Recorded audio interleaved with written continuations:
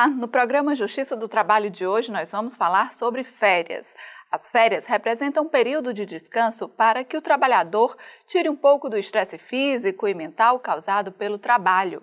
O empregado contratado pelo regime da CLT tem direito às férias após, no mínimo, 12 meses consecutivos de vínculo com a empresa. Bom, e para falar mais sobre férias, nós temos como convidados aqui no estúdio o juiz do trabalho André Esteves de Carvalho e o advogado trabalhista Grijalba Miranda. Sejam bem-vindos. Bom, agora a gente vai acompanhar uma reportagem sobre o direito de férias. O direito de férias consiste em um período de descanso concedido pelo empregador ao empregado. Geralmente, elas são de 30 dias e devem ser aproveitadas num período contínuo. Mas, havendo acordo entre a empresa e o trabalhador, poderão ser fracionadas em dois períodos, que não sejam inferiores a 10 dias.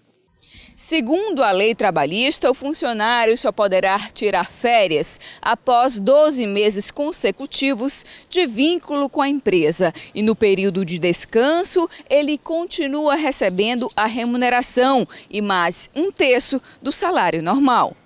A época de concessão das férias deve ser de acordo com o interesse da empresa. Quando esta aquisição ocorrer um ano após o vencimento, o empregador deve efetuar o pagamento em dobro. O ideal é que o funcionário aproveite esta oportunidade de descanso, afinal, de acordo com esta psicóloga, isto é fundamental é necessário que o trabalhador faça esse período de pausa para que ele possa fazer um equilíbrio de todos os seus vínculos, né? Familiares, com os amigos, na questão do lazer, porque como o trabalhador passa muitas horas nas suas atividades laborais, muitas vezes o impedem de estar tá fazendo esses contatos com os amigos, com os familiares, né, de estar tá fazendo atividades que lhe deem prazer. Saber curtir este momento é essencial. Esses dois estão aproveitando bem as férias. Eles escolheram a praia de Fortaleza para relaxar e recarregar as energias. Voltar para o trabalho, volta renovada. Volta renovada, sem estresse, maravilhoso. Vale a pena. Demais, vale a pena. Nossa, eu recomendo, bom demais. Bom, para a gente começar a falar de férias, né? Quem tem direito às férias? Todo empregado que tenha carteira assinada e tenha trabalhado no mesmo empregador 12 meses consecutivos. A partir daí, ele adquire, conquista o direito a gozar férias. Um dos grandes problemas que a gente enfrenta com as férias no dia a dia, que até muitos empregados talvez não tenham conhecimento disso, e isso tem gerado um certo problema, é que o empregado, depois de 12 meses que trabalha, adquire o direito às férias. E um problema que surge é quando gozar. A maioria dos empregados imagina que ao adquirir o direito às férias, ele já pode imediatamente, se quiser, gozar estas férias. E não é bem assim. Os 12 meses iniciais, ele adquire, ele conquista o direito. Agora, gozar as férias vai depender de uma outra situação, que é a concessão delas, que é uma segunda etapa, e esta concessão vai depender do empregador. Então, a partir de quando o empregado conquista esse direito, inicia um outro período, que a lei chama período concessivo, e são mais 12 meses para que o empregador conceda essas férias ao empregado. E essa concessão, né, é a partir de que é uma decisão do empregador, como é, como é que ela acontece? É na, é na conveniência do, do empregador. É, após os 12, como o doutor Gurjaba falou, após os 12 meses do período aquisitivo, Aí você conta mais 12 meses agora para o período concessivo, para o empregador, é, na conveniência dele, empregador, dizer quando o empregado vai gozar essas férias. Lembrando o seguinte, que é, são 12 meses para ele conceder as férias, mas é, fazendo aqui, um, dando um exemplo prático, suponhamos que ele, é, o primeiro dia de trabalho seja 10 de janeiro de 2014. Se o empregador conceder essas férias para ele o primeiro dia de férias no dia, suponhamos, 9 de janeiro de 2015, isso significa que ele vai gozar as férias já é, é, é, fora do período concessivo. Então, é, o empregador ele tem que, para ele não pagar essas férias dobradas, ele precisa conceder essas férias é, até um mês antes do término do período concessivo para que essas férias possam efetivamente ser gozadas ainda dentro do período concessivo de 12 meses. Né? No caso de quando acontece de passar desse período concessivo, né? Isso. Você lê a CLT de ponta a ponta, na maioria dos direitos, você sempre vai ver direitos concedidos sempre ao empregado, até porque a parte hipossuficiente a lei tem que proteger. Então, as férias, a concessão delas é um dos poucos direitos que a legislação concede ao empregador. E então ela estabelece esse prazo, período concessivo de 12 meses. E o empregador precisa ficar atento, como o doutor André falou, se ele dessas férias, após esse período concessivo, a lei estabelece uma multa para o empregador que corresponde exatamente ao pagamento dessas férias em dobro. Se o cidadão ganha 5 mil reais, se as férias forem concedidas fora, além do período concessivo, o empregador vai ter que pagar 10 mil reais. 5 das férias normais e 5 a título de multa, porque concedeu as férias fora do período concessivo. Além disso, as férias eh, também são acompanhadas de um terço, e o engraçado é que quando dobra as férias, dobra também um terço por um princípio muito óbvio do direito, de que o acessório segue um principal. Se o principal dobra, automaticamente esse um terço, que é acessório, vai dobrar também. Então isso é uma imposição legal para que o empregador não fique com essa de que passou um ano é, de que o empregado adquiriu as férias, ele não a conceda. Então ele tem que conceder dentro desse período. Ele tem esse direito, mas tem que exercer dentro desse período que a lei estabelece. Eu, eu, faço só um acréscimo à fala do Dr. Grijalbo, que a gente está falando muito na questão do, desse, desse direito é, potestativo do empregador de, de, dizer quando é que o empregado vai gozar as férias, mas a própria CLT faz, tem uma exceção que é a questão do trabalhador menor de 18 anos estudante. Então, nessa situação do trabalhador menor de 18 anos estudante, esse aí, ele pode, nesse caso, exigir que as férias dele coincidam com, com, com as férias escolares. Né? Então, seria a, a, situação realmente prevista é, é, na lei de que o empregador, nesse caso, perde esse direito que ele tem de, de dizer, quando, na melhor conveniência dele, quando é que o empregado vai é, é, gozar as férias. Porque no caso do empregado menor de 18 anos, estudante, é, ele tem direito de fazer coincidir as férias dele do trabalho com as férias escolares. E mais um detalhe também, é, a gente fala da questão de quem tem direito a, a gozar férias, não só o empregado regido né, pela CLT, mas outros trabalhadores também que estão fora da CLT, como, por exemplo, o trabalhador doméstico, né, é, o trabalhador rural, então, é, essa, o trabalhador avulso, esses trabalhadores né, não regidos pela CLT também têm direito é, às férias. No caso de estagiários, jovem aprendiz, como o senhor falou, não é isso também? Inclui-se esse direito de férias? Não, na verdade, o, o, o estagiário ele não tem direito a férias, né? Eles fazem uma confusão, inclusive, os estagiários, né? E férias, férias não. O que a nova lei do estagiário, de 2008, né? O que essa nova lei estabelece para o estagiário não é férias. Ela faz a concessão de um recesso remunerado. Isto não é férias, é um recesso remunerado. Tanto não é férias que esta concessão não incide um terço. Né? Então, na verdade, o, o estagiário não tem férias, ele tem um recesso remunerado. Bom, a gente vai fazer um rápido intervalo e volta em instantes com o programa Justiça do Trabalho.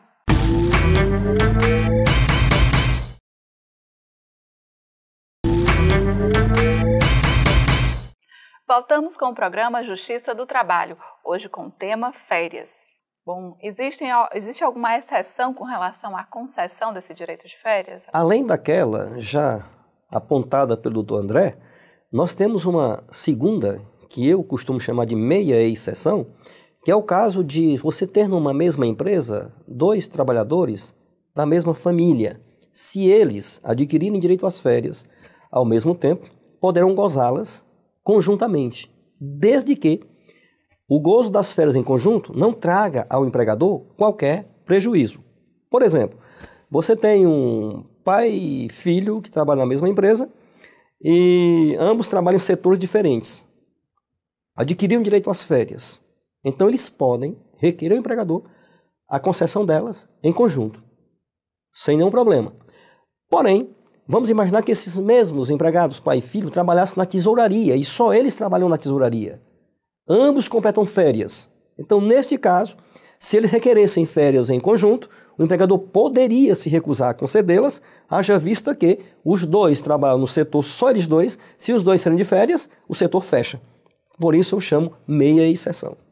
A diferença, então, entre é, um caso e outro é justamente essa, a, a falada pelo doutor Grijalbo, o empregador ainda pode, na conveniência dele, é, é, fazer essa ponderação e dizer, olha, eu acho que a o, o, todos os membros da família pode aqui acontecer um prejuízo. No caso do trabalhador menor de 18 anos, não tem essa, essa, essa questão. Ele pode exigir e certamente o empregador terá que conceder essas férias.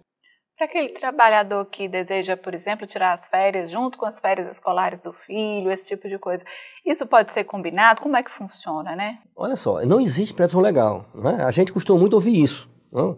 Muitos pais questionam as empresas, olha, eu quero tirar férias só em janeiro, porque meu filho está de, tá de férias, senão fica, fica, fica meio sem lógica, o meu filho tira férias e eu trabalhando. Então, para que pai e filho possam estar juntos, então é importante que eu goste minhas férias sempre coincidentes com as escolares, mas não há previsão legal para isso. O que acontece em algumas empresas é uma mera concessão da empresa. Não é? Como também existe uma situação em relação às férias que também é muito mais concessão do empregador. Por exemplo, nós estamos dizendo que o direito de conceder as férias é do empregador. É ele que escolhe a melhor época que ele aprove para conceder essas férias. Mas, na prática, o que a gente vê é que o empregador normalmente ele flexibiliza e deixa que os empregados façam, inclusive eu costumo ver lá, um calendário de férias. O importante é que todos gozem férias dentro do período concessivo e que não venha trazer prejuízo ao empregador. Então, em algumas empresas isso acontece, mas é bom ressaltar para os trabalhadores que quando isto ocorre é concessão do empregador. É uma mera liberalidade, porque a legislação diz taxativamente que é o direito do empregador de escolher a época que melhor lhe aprove a conceder as férias ao empregado. O que, que acontece quando as férias são acumuladas, né? Situação de férias acumuladas, na verdade, o, a, a cada 12 meses trabalhado, então já gera o direito ao. A, já, já tem o período concessivo, o empregador tem que conceder as férias nesse período concessivo. Ele não, assim, é, é, fazendo, então significa que o trabalhador já teria direito de receber essas férias agora dobradas, né, tendo em vista de que não foram concedidas no período concessivo. Né, então essas férias seriam férias indenizadas, ele pode cobrar essas férias porque não foram gozadas é, no tempo legal. O empregado pode, inclusive, em relação a isso, Uh, imaginemos que o empregado completou férias, passou o período concessivo, o empregador não concedeu. Isso pode acontecer e acontece na prática. Além de já o empregado ter adquirido o direito de receber essas férias em dobro, mas mesmo assim, se o empregador não a conceder, o empregado tem a prerrogativa, a lei prevê isso, do empregado, querendo, após o período concessivo não lhe foi concedida essas férias, ele pode perfeitamente propor uma ação na Justiça do Trabalho, requerendo ao magistrado que fixe a data do gozo das férias. E quando isto ocorre, a nossa legislação, inclusive, é, determina que, ao entrar com esta ação, o magistrado trabalhista, além de fixar o período do gozo dessas férias, ainda vai fixar uma multa ao empregador de 5% sobre o salário mínimo por cada dia de atraso nesta concessão.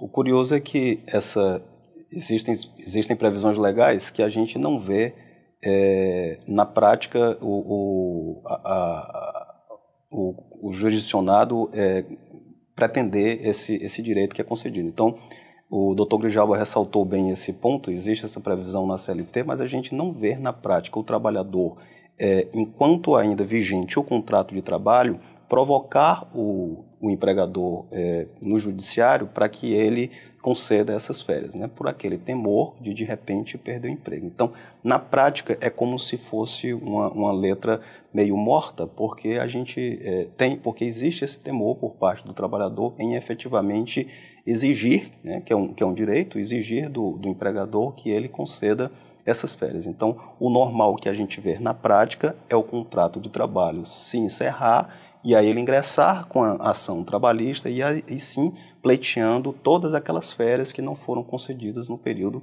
que eram devidos. O único problema que eu vejo, viu, doutor André, é exatamente assim que acontece.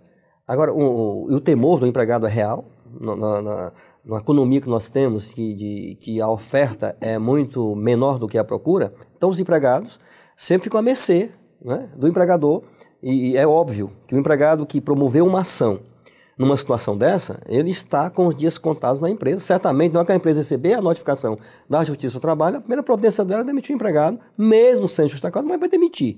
E como o empregado precisa do emprego, ele muitas vezes submete a essa situação de não gozar férias, ficarem elas sendo acumuladas e só as reclama quando da demissão, quando da rescisão do contrato de trabalho. E aí vem um problema, um gravame para o empregado é, absurdo. Vejam você, vejam vocês o artigo 7 da Constituição, no inciso 29, ele simplesmente diz que os direitos trabalhistas prescrevem cinco anos.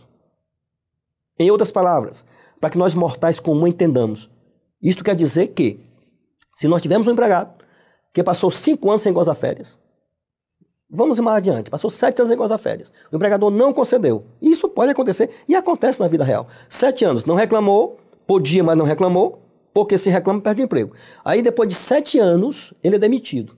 Ele vai para a justiça do trabalho.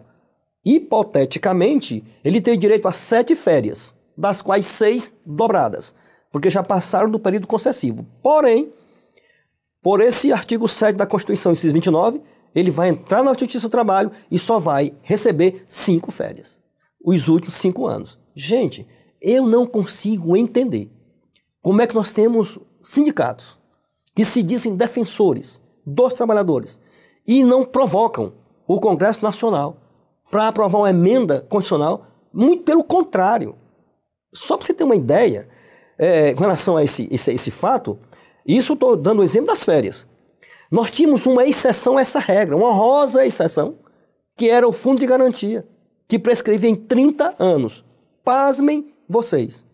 O nosso Supremo Tribunal Federal simplesmente, no julgamento de um recurso extraordinário, resolveu dar provimento a esse recurso e acabou com a prescrição trintenária e declarou inconstitucional a lei que concedia a prescrição trintenária para o FGTS e trouxe o FGTS para todos os demais direitos, prescrevendo em cinco anos.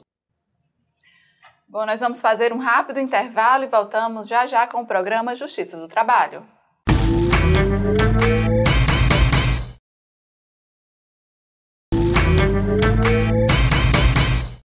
Estamos de volta com o programa Justiça do Trabalho, hoje com o tema férias. Bom, e com relação à venda das férias, né? Quando é possível e como é que ocorre? Muitos empregados têm essa criaram esse mito. São mitos. Nós temos alguns mitos trabalhistas. Esse é um deles. Vender férias. Não existe nem esse termo vender na nossa legislação. Na verdade, não há venda de férias.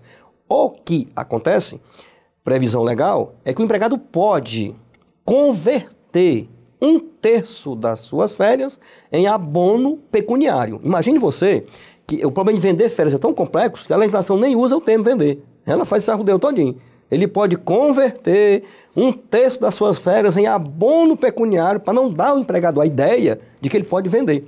Embora a gente saiba que, na prática, isso acontece. O legislador, quando criou férias, foi exatamente para possibilitar, e você falou isso no começo do programa, foi para possibilitar ao empregado que ele possa descansar, recuperar as suas energias dispendidas durante 12 meses consecutivos de trabalho. Então, se você vende, daqui a pouco você vai ter um empregado estressado na sua empresa porque não gozou férias. Então, vender não existe. Existe converter pelo menos um terço em abono pecuniário. Ou seja, então se você tem um trabalhador que tem 30 dias para gozar de férias, ele teria aí 10 dias para converter esse, é, é, esse descanso em pecúnia, ou seja, é, transformar os 10 dias é, que ele teria de gozo de férias em realmente em pagamento de salário é, é, para ele, como se ele estivesse normalmente trabalhando. E a CLT fala também que essa questão do, do direito do trabalhador converter pelo menos um terço é, das férias é, tem, ele tem que participar, ele tem que informar ao empregador é, até 15 dias do término do período aquisitivo. E o empregador tem obrigação de, assim, é, é, é, fazer, aceitar o, o, o, pedido do empregado. O Instituto das Férias o, o, é tão é um direito é, é, tão importante que ele é um direito irrenunciável. Ou seja, ainda que o trabalhador, de comum acordo, ele chegue para o patrão e diga, olha, eu não tenho interesse de gozar férias, não, tem, não precisa me pagar as férias. Ainda que o patrão, de repente... numa eventual ação trabalhista, mostre um, um contrato, por exemplo, um, um, em que, um acordo em que o, o empregado assinou é, é, dizendo que está abrindo mão do direito de férias, esse, esse, esse acordo ele é plenamente inválido, ele não tem valor nenhum perante o judiciário, porque nós estamos falando de um direito é, imantado de irrenunciabilidade. O empregado não pode é, é, abrir mão desse direito. Então, é, fica meio mitigado é porque realmente pelo menos um terço ele ainda pode converter efetivamente em trabalho. Ao invés de ele, dele gozar os 30 dias, ele termina gozando 20 dias, porque o Instituto das Férias ele tem esse, esse, é, é, esse escopo, são, são vários. Você pega doutrinadores que falam sobre as férias, eles é, é apontam vários aspectos é, é, relativo às férias, o porquê do que explicam, que justificam a importância dessas férias. Então você tem o um aspecto fisiológico, como o doutor Grijal bem falou, o corpo humano é uma máquina.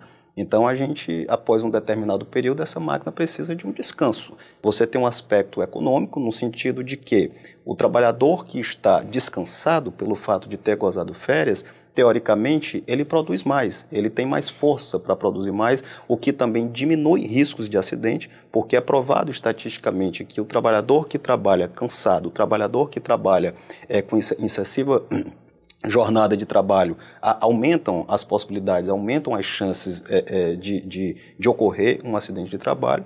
E tem um aspecto também por trás desse Instituto das Férias, importantíssimo, o Instituto tem um aspecto social, que é no momento que ele, que ele goza férias, é o momento que ele está mais próximo da família, é o momento que ele está ali no lazer com seus familiares. Um outro aspecto importante das férias, né, que é relevante a gente ressaltar para os nossos ouvintes, é o fato do empregado a, dispor, né, a legislação permite, né, a Lei 4.090, que é a lei que regula, a, desculpem, a própria CLT, é, ela determina que o empregado pode, isso é uma opção do empregado, por ocasião das férias, se ele quiser, né, ele pode requerer ao empregador um adiantamento de metade do seu 13º salário. Só que o empregado que pretenda fazer isso, ele precisa fazer esse requerimento até o último dia do mês de janeiro. Se, porventura, ele pretende tirar férias no mês de março, ele vai ter que comunicar ao empregador e solicitar esse adiantamento de 50% do seu 13º salário, que é para que, quando ele for tirar férias, ele possa ter um dinheirinho a mais, até para ter um lazer melhor com a sua família. Então, esse direito também é garantido pela nossa CLT. Como é que fica essa questão do pagamento das férias?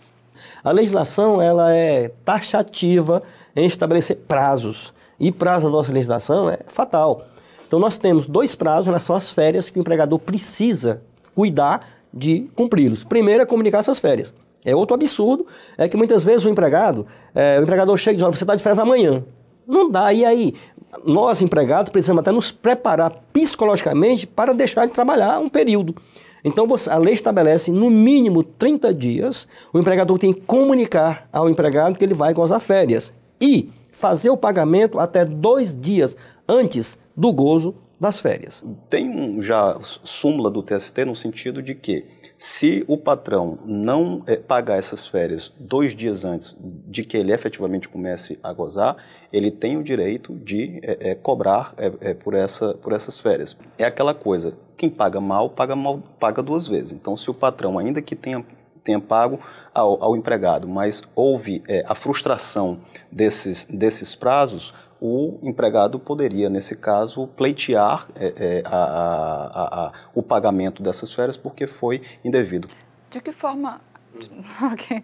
De que forma as faltas podem é, impactar nas férias? A legislação estabelece que o empregado, se ele tem um direito durante um ano inteiro período aquisitivo, ele pode faltar até cinco dias sem justificar e isso não vai ter nenhum reflexo nas suas férias. Porém, a partir da sexta falta, sem justificar, vai ter reflexo direto no tempo das suas férias. Ok.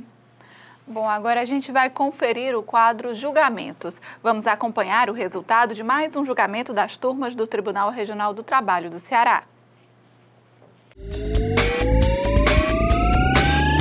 A terceira turma de desembargadores do Tribunal Regional do Trabalho do Ceará condenou a empresa Cotesse a pagar uma indenização por danos morais a uma empregada que sofre de asma alérgica e teve a doença agravada devido ao desempenho das atividades na fábrica têxtil. Mesmo reconhecendo a asma alérgica uma doença pré-existente, os desembargadores consideraram que o problema foi agravado no ambiente de trabalho com o aparecimento de novas crises, ocasionadas provavelmente pelo contato direto com a sujeira do algodão. A terceira turma do TRT Ceará concluiu então que o local de trabalho, unido a outros fatores, favoreceu o aparecimento de novas complicações à saúde da trabalhadora, que inclusive é fumante. Na análise dos magistrados, não há como atestar o grau de contribuição de cada fator desencadeador das crises respiratórias da funcionária. A decisão confirma a sentença da primeira vara do trabalho de Maracanaú e ainda cabe recurso. O valor da indenização a ser paga é de 10 mil reais. Tribunal Regional do Trabalho do Ceará possui três turmas. Os julgamentos das turmas acontecem na sede do TRT, que fica na Avenida Santos Dumont 3384, na Aldeota. Bom, obrigada pela participação dos senhores. É que agradecemos. Eu que agradeço. Obrigado. Bom, o programa Justiça do Trabalho fica por aqui. Mais informações sobre o TRT Ceará no site www.trt7.jus.br. Você também pode tirar dúvidas sobre direitos trabalhistas no programa Minuto do Trabalho, transmitido pela Rádio CBN todos os dias. O programa Justiça do Trabalho também está disponível no nosso site. Você pode participar com dicas e sugestões. É só enviar para o justiça do trabalho@trt7.jus.br ou ligar para o 85 3388 9426. Até mais.